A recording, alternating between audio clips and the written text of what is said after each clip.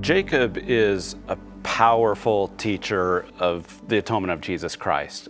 And in the previous couple chapters, which I think we'll talk about in footnotes, he'd been talking about some of the people's sins, some of the things that they needed to, to repent of. You know, that's part of the role of a prophet is, is to tell people what they need to do better, right? To, to call them out for their bad behavior. But there always has to be another side of that, right? Okay, so here are the things that you're doing wrong, but how do we come back from that? And of course, the answer to that is the atonement of Jesus Christ. And so he, he tells us this in chapter 4, verse 11.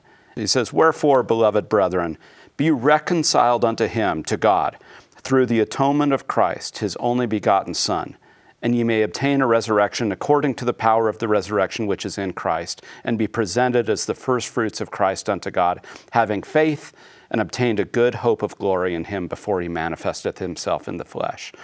So the way that, that we come back to God be we're reconciled to God through the atonement of Jesus Christ.